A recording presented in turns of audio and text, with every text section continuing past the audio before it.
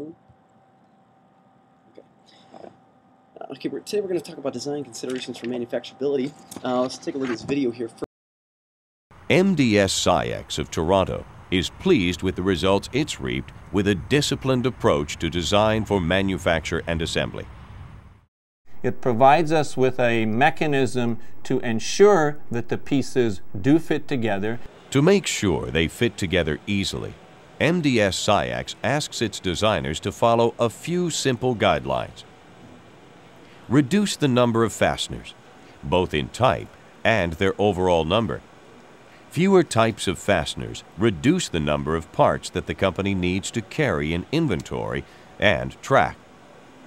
And fewer fasteners in the product have two more benefits. Technicians spend less time inserting them, and the company needn't buy as many parts. Use unique orientations. Designing subassemblies to fit together in only one way is a great quality control technique products are assembled the right way every time. Design features for alignment. A self-aligning assembly improves quality and saves a tremendous amount of time in assembly, installation, and service.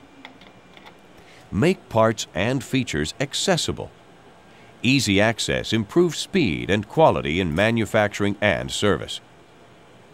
A prime example of the results that following these guidelines can produce is the API 2000, a triple quad mass spectrometer that was the most powerful on the market when it was introduced by MDS SciEx. The key to this success is a modular design that is self-jigging and self-locating while containing only a few fasteners and soldered joints. The modules also go together only one way eliminating any ambiguity in their assembly. All right, now we're going to look at mass properties. So uh, one thing you want to consider when you're uh, when you're designing things is uh, is the volume. How much raw material must be purchased? Um, must be purchased when you're when you're going to make a product. Also, should take into consideration the uh, the surface area. How much might it cost to coat or paint the surface? Um, and then the density. How strong is the material? What machines are needed to process it? And then finally, the mass because uh, weight determines how much it's going to cost to transport that material. So you might want to take a take a, uh, a little bit of notes on that thing there. Uh, just make sure you get that into your notes there on that document uh, that you made the other day there. Uh, so moving on, uh, when you're choosing your materials, it's important to take into consideration the following here: strength, durability, cost, availability of the material. Um, and then environmental impact, finishing cost, shipping, and transport. So we're going to talk about all these things here. Uh, first, looking at strength and durability, uh, will the product be strong enough to perform its function, uh, but not over-engineered uh, at an increased cost? Um, so, you know, many times engineers will uh, uh, need to, to take into consideration the um, the the durability of the material. Are they over-engineering it? Because that would waste some money. So we don't want to do that.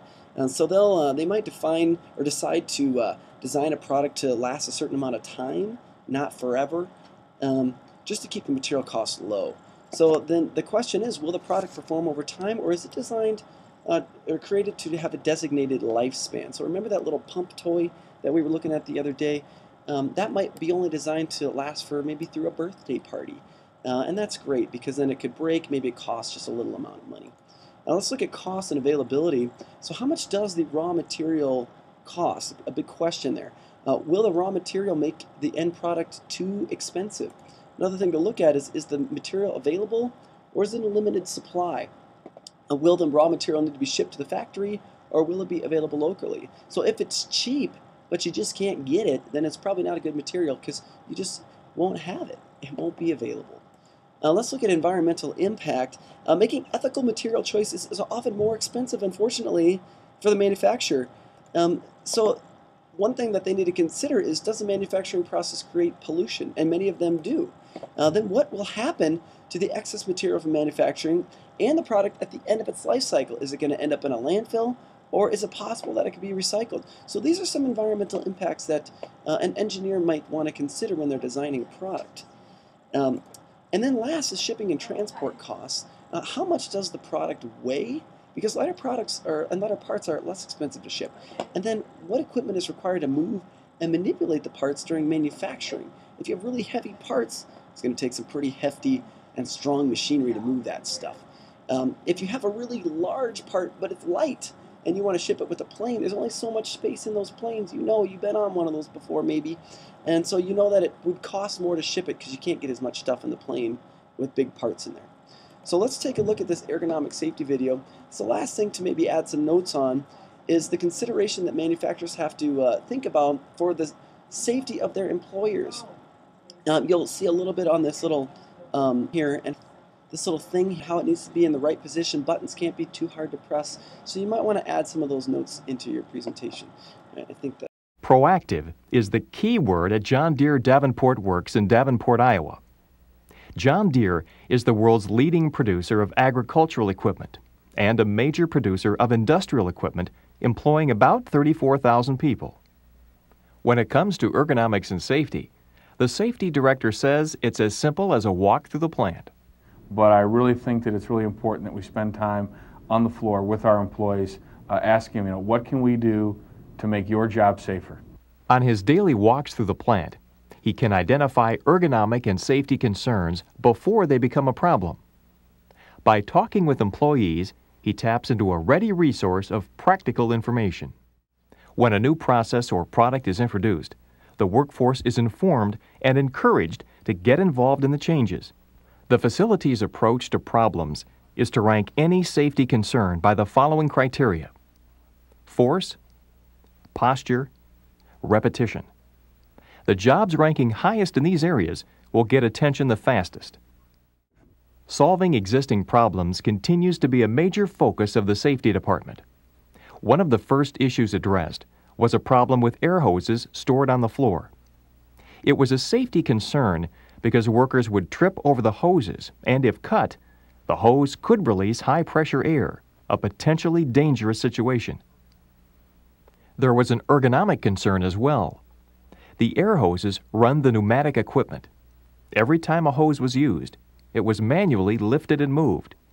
Employees complained of upper back problems.